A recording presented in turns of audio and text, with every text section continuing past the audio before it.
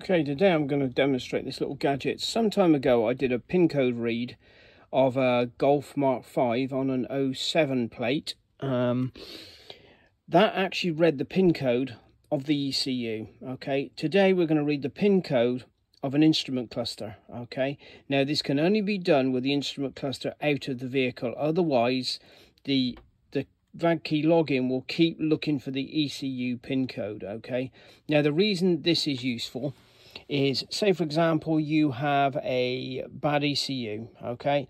You replace the ECU with this, this little gadget, you can read the pin code of the ECU, but you can't match it to the vehicle because what it's going to ask for is the pin code of the instrument cluster, okay? The pin code of the car. Now, if you don't know the pin code, uh, you won't get it from VW. Um, that's guaranteed, okay? You need to find it. So what you need to do is remove the cluster like this. Okay, put it on the desk.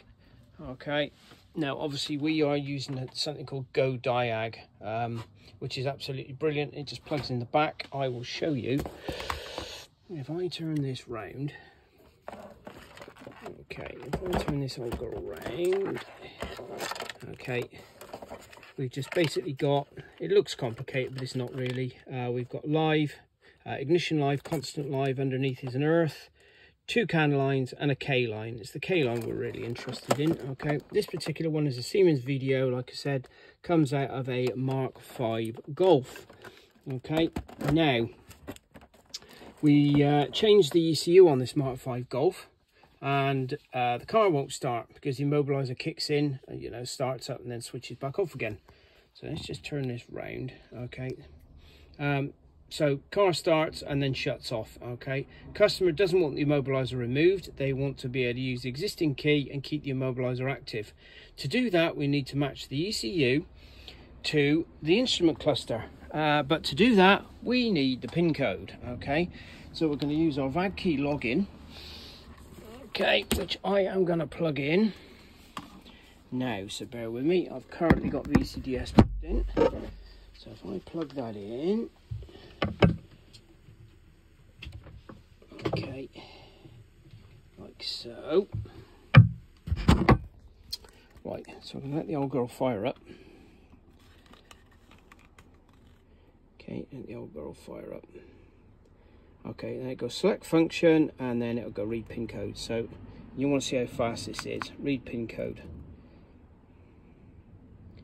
Okay and there it is 3846 okay so there's the pin code for this cluster 3846 now we're going to just plug the VAG uh, the VCDS in just to check it so 3846 so down again uh, unplug it Okay, I'm going to plug in VCDS. We're going to turn the ignition off. Okay, and then back on again. Okay, so 08038846. So let's go. Select. Immobilizer. Okay, security access. 03846 03846 okay which is our pin code. And do it security code accepted. Okay from there we can code in another key. So basically what we've got is, is the existing key but we can match our new used ECU um, into the instrument cluster and the vehicle will then start. Okay and that's how it's done. Thank you for watching